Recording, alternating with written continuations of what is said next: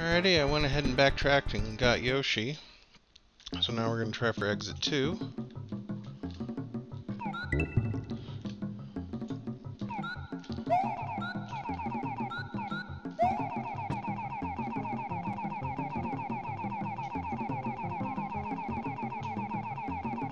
Alright, so there's a Yoshi in there.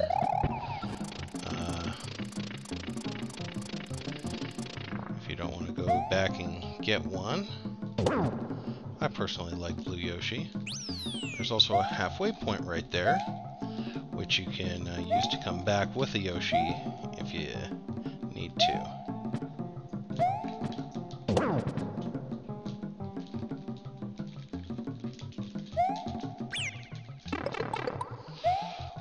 Gotta keep the Yoshi. There we go. Oh, I should have swallowed that Koopa Troopa. That's fine, because here's the exit.